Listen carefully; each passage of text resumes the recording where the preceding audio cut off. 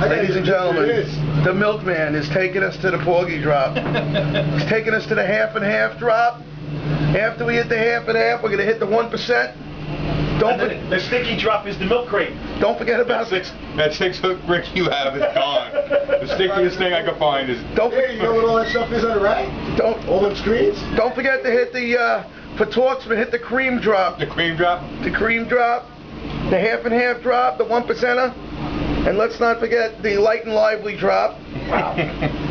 Here I am in the Celtic Quest hierarchy. Nothing stops me from getting in places I shouldn't be. Can't look at those numbers. No, don't look at those It's numbers. the secret drops. Yeah, secret foggy drop. It is now 10 to 8. We are on our way to the Monster Silver Scup, the land of the giant choppers. I'm not referring to anybody's big teeth. The land of the giant choppers. Here he is, Jim, fishing for fun. Jim, it's an honor to have you once again today on fisharkadventures.proboards.com. Thank you, Mark. That's fisharkadventures.proboards.com. That's F-I-S-H-A-R-K, proboards, P-R-O-B-R-E-S dot com. Thank you, Jim.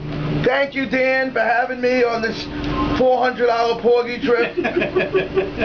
I can't think of any place I'd rather be today than right here with my friends on the Celtic Quest.